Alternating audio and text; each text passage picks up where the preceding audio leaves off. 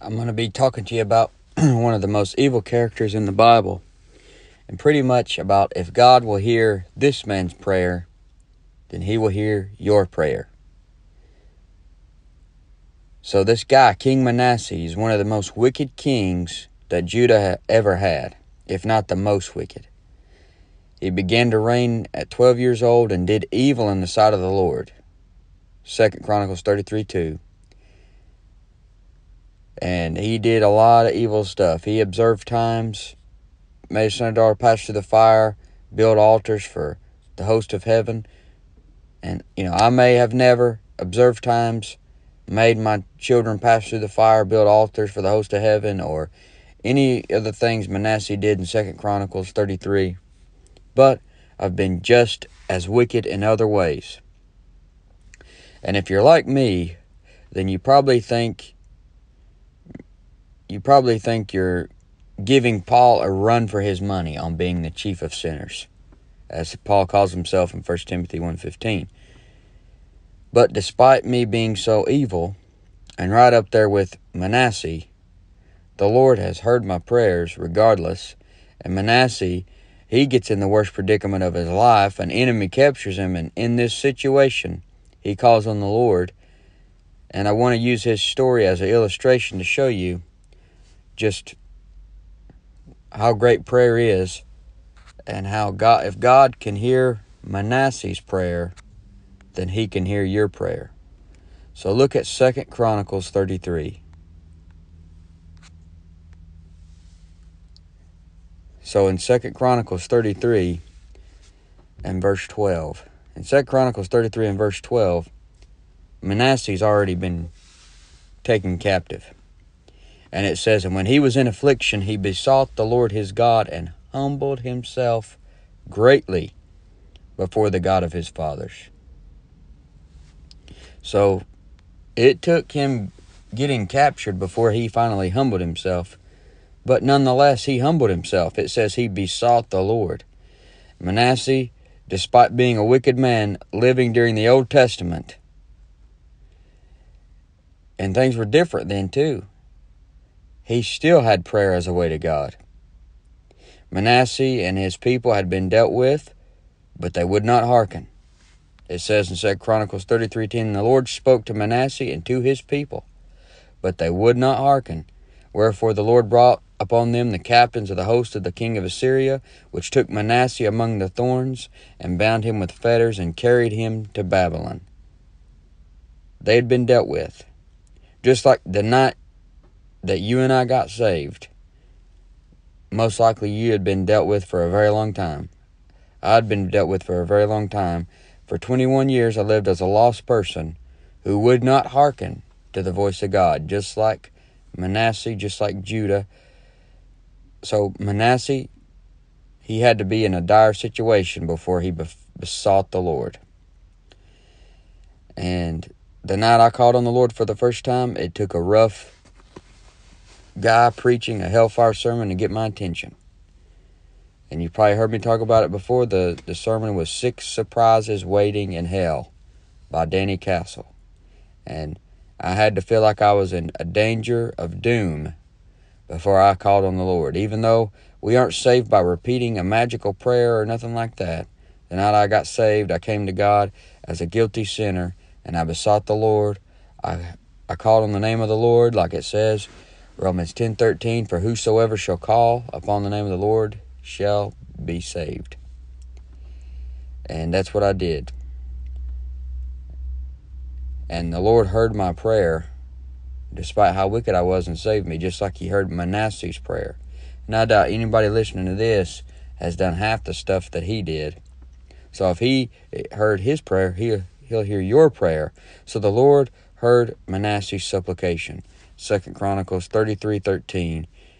And it says, And prayed unto him, and he was entreated of him, and heard his supplication, and brought him again to Jerusalem and to his kingdom. Then Manasseh knew that the Lord, he was God. So it is a mystery how God will listen to me. But Romans 10:13 says it, for whosoever shall call that night I got saved, I was so sick of myself, sick of my sin, sick of my depression, and felt like I was bathed in filth, literally, but God heard me. My first year of salvation, I was dealing with assurance and begging God to save me every night because I didn't understand salvation. You know, I understood what it took to get saved and believing on the Lord Jesus Christ, but I didn't understand about eternal security or assurance of salvation. So every night I'd I'd pray God to save me again or something like that. My prayers consisted of begging God to not let me go to hell. I didn't realize I was already sitting in heavenly places in Christ Jesus, as Ephesians 2 6 says. But all the while, the Lord was probably using my eternal insecurity and lack of Bible knowledge about salvation to get me closer to Him through prayer. So maybe He's doing that to you to get you closer to Him through prayer. So, prayer was present when I came to God. Prayer was present when I need a way to escape. And He heard my prayer when I needed a way to escape after I got saved. You see, Manasseh was bound with fetters and in possession of the enemy, and the only place for Manasseh to turn was God. And there have been plenty of times in my Christian walk where I've got into sin or away from the Lord, but prayer is one of the ways of escape. 1 Corinthians 10:13 1 Corinthians 10:13 says, "There hath no temptation taken you but such as is common to man. But God is faithful, who will not suffer you to be tempted above that ye are able, but will with the temptation also make a way to escape, that ye may be able to bear it. I believe prayer is one of those ways of escape. I wonder if Manasseh thought he was too wicked for God to hear him, and that he wouldn't escape. But if he hadn't called on the Lord, there wouldn't have been any escape. You see, a trick the devil has and he's always tried to pull on me is to make me think that God doesn't want me to pray because I'm so wicked. But the truth is that God wants me to pray more than I even want to pray myself. See, I've spent too much time out of prayer because the devil told me the Lord didn't want to talk to me. Just like I've spent too much time out of fellowship with others because I thought I wasn't good enough to talk to them. The thing to do is Draw nigh to God, and he will draw nigh to you. James 4 8. God wants to talk to you and hear from you more than you want to hear from him. Prayer is present when you need a way to escape. And, you know, you have not because you ask not. What if Manasseh didn't call on the Lord that day? What if he said, Look at all the things I've done. But when he was in affliction, he besought the Lord his God and humbled himself greatly before the Lord God of his fathers. Prayer is present when I need a way to escape. Prayer is present when there's fellowship. When you see Manasseh's life after his prayer, you can see that he has fellowship. After he prayed, the Lord brought him again to Jerusalem into his kingdom. So you see that in Second Chronicles thirty three thirteen, and prayed unto him, and he was entreated of him, and heard his supplication, and brought him again to Jerusalem into his kingdom. Then Manasseh knew that the Lord he was God. Now after this he built a wall without the city of David on the west side of Gihon in the valley, even to the entering in at the fish gate, and compassed about Ophel, and raised it up a great a very great height, and put captains of war in all the fenced cities of Judah, and he took away the strange gods and the idol out of the house of the Lord, and all the altars that he had built in the mount of the house of the Lord and in Jerusalem, and cast them out of the city. And he repaired the altar of the Lord, and sacrificed thereon peace offerings and thank offerings, and commanded Judah to serve the Lord God of Israel. Nevertheless, the people did sacrifice still in the high places, yet unto the Lord their God only. Now the rest of the acts of Manasseh and his prayer unto his God, and the words of the seers that spake to him in the name of the Lord God of Israel, behold, they are written in the book of the kings of Israel. His prayer also, and how God was entreated of him, and all his sin and his trespass, and the places wherein he built high places, and set up groves and graven images, before he was humbled. Behold, they are written among the sayings of the seers. So Manasseh slept with his fathers, and they buried him in his own house, and Am- Amon his son reigned in his stead. So you see, after his prayer, he was in fellowship. Prayer is present when there's fellowship. The Lord brought him again to Jerusalem into his kingdom, got him out of that situation. When I finally besought the Lord to get back into fellowship, he didn't turn me away. He brought me into fellowship again. And keep in mind that Manasseh has been living like the devil for years, and God still heard him for a long time. See, I thought that I would I would have to regain fellowship with God by consistently living right again for, you know, an extended period of time before I could get back in fellowship. But prayer is the way back into fellowship. You see, the mo- you, you could be living horribly, but the moment you turn to God in prayer from a sincere heart, you're right back into fellowship. And fellowship is not salvation. You know, you can be saved and not have fellowship. And see, prayer is like the comfort of seeing your Father's arms open and ready to receive you because His love is unconditional, even when you no longer feel worthy to be called His son. Just like the, the prodigal son. Just like in Luke 15 21, and the son said unto him, Father, I have sinned against heaven and in thy sight, and am no more worthy to be called thy son. But you were never worthy anyway. It's about the you got saved. God gave you the imputed righteousness of Jesus Christ. That's why you're worthy to be called a son. It didn't have nothing to do with anything you did do, would do, could do, or ever will do. It's all about the Lord Jesus Christ. He's worthy, and since you're in Him, you're always worthy to be called a son. So when I feel like I'm I'm too wicked to talk to God in prayer, I'm reminded of 1 John 3:20, for if our heart condemn us, God is greater than our heart and knoweth all things. So the proof that God is hearing my prayers is through him answering them. 1 John 5:14 This is the confidence that we have in him that if we ask anything according to his will he heareth us. And Manasseh's life seemed to glorify God all the way around after he prayed. He got rid of all that stuff, as we just read. And for years I prayed the Lord would lead me to a job where I could study as I worked and think on the things of the Lord while I labored. I got that prayer answered. I'm able to spend almost the entirety of my shift, although it's hard work. I got headphones, I can listen to preaching and teaching. I can study the Bible on breaks. I, I got all kinds of time to just listen to the Word of God, stay in close fellowship. That's one of the greatest prayers I've had answered. I've had so many answered prayers, even though I'm like Manasseh. I'm wicked as all get out. I done horrible things. Done horrible things even after I was saved. But it's not about me.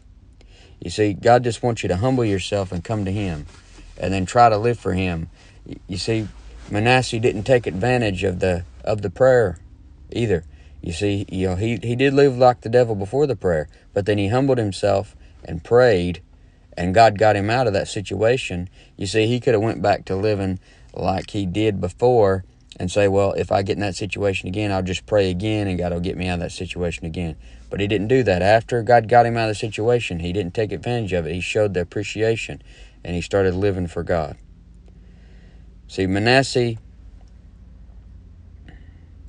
Manasseh had the words of the seers that spake to him in Second Chronicles 33:18. And like him, I, I need someone to preach to me. And for years I've prayed that the Lord would continue to lead me to different Bible teachers and, preachers and pastors who would take me to more growth in the Lord.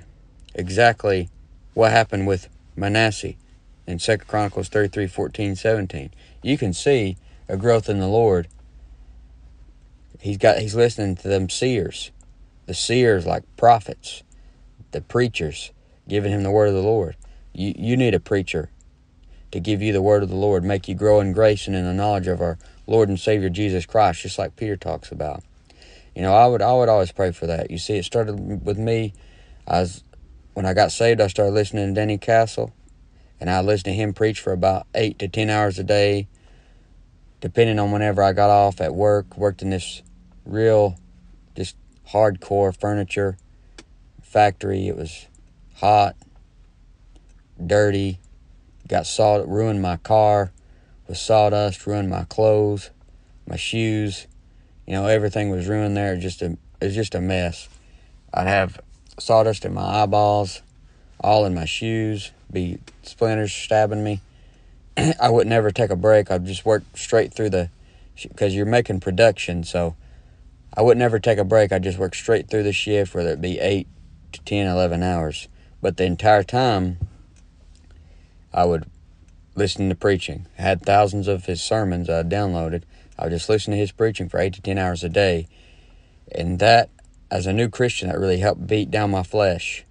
You see, I bet Manasseh, I bet for him it wasn't just something where he just automatically was just able to just get rid of all this sin right away. He, he his flesh had to be worked on, I'm sure. And my flesh had to be worked on. You know, just listening to doing that hard job, getting up early every day, driving an hour just to get to work, and then doing that hard job every day, beating the flesh down, and then you got to drive all the way back home while you're tired, and then you listen to preaching on the way home, and then you finally get home and it's almost dark, and then you're just preparing for the next day. And that working, listening to preaching will beat your flesh down. I highly recommend both. And that's what Manasseh did. He you see he instantly got to work. He kept himself busy. He started repairing things. He started fixing up things. He started listening to the seers. But with me, it started with me, you know, just doing hard work and uh, listening to Danny Castle. Then I heard Danny talk about Peter Ruckman, so that le- that led me to Peter Ruckman, and he gave me a love for the Bible that I never had before. And I just once I, I listened to him for hours and hours and hours at work. I got as many of his commentaries. I got his the Ruckman Reference Bible. I got all that stuff. That gave me a love for the Bible that I never had before. So after that, I'm like, it's like God keep kept sending me men to help me grow in grace and in the knowledge of our Lord and Savior Jesus Christ. So then I started listening to, I feel like the Lord led me to David Hoffman. I started listening to him. That, that gave me my love for the verse by verse studies that you see I always do on here. And that's my like my favorite thing, as you can probably tell. And that gave me a love for that. So I started, um, I bought the Common Man's Reference Bible. And I like that. I prefer that uh, above the Ruckman Reference Bible. I know that makes a lot of people mad. But it's just got the, the references in that. It's just got tons on every page. And that, that helped me grow. Just looking at those references. It may not have as many notes, but them references, it's just you could spend hours and hours and hours just looking up all them references he's got in there. And then after that, the Lord led me to Bob Alexander. That gave me a whole new level of love for the Bible that I never had before. And he, he helped me get my Bible together. Now, I, I knew a lot of Bible facts from listening to uh, Danny and Ruckman and Hoffman, and I knew a lot of verse by verse studies, and uh, that was my main thing. But then, when I found Bob Alexander, that helped me get my Bible together. And I just kept praying, God, give me, send me somebody else that'll help me grow more. And in the midst of all this, I was going to my the local church I go to, and my pastor Donnie Dalton, he t- took me to places I'd never been before in my spiritual life. Just other ways of thinking, He helped me grow in grace and in the knowledge of our Lord and Savior Jesus Christ. But you see, Manasseh, just like him, you gotta don't just take advantage of the prayer of the of the power of prayer. Look what he did. He took away the strange God, verse 15. He took away the strange God, gods, and the idol out of the house of the Lord, and all the altars that he had built in the mount of the house of the Lord, and in Jerusalem, and cast them out of the city, and repaired the altar of the Lord, and sacrificed their own peace offerings and thank offerings, and commanded Judah to serve the Lord God of Israel. You see that? He didn't just take advantage of the prayer. He listened to the seers. And that's what you got to do. You got to find a Bible believing guy, find a Bible believing pastor, listen to him. He'll help you grow in grace and in the knowledge of our Lord and Savior Jesus Christ. And you'll just keep growing and growing. You see? Now the rest of the acts, Second Chronicles 33:18, the rest of the acts of Manasseh in his prayer unto his God, and the words of the seers that spake to him in the name of the Lord God of Israel, behold, they are written in the book of the kings of Israel. So you see, he listened to those seers, those prophets, those preachers. So, prayer, it's been present in my life anytime I did anything that was worth something. I prayed the night I believed on Jesus Christ. I pray when I need a way to escape the temptations and the grip of spiritual wickedness in high places. I've kept a prayer life to keep in fellowship. Imagine if Manasseh didn't humble himself and hadn't besought the Lord. The story would have been completely different. Prayer changes things, and if God can hear Manasseh's prayer, then he can hear your prayer.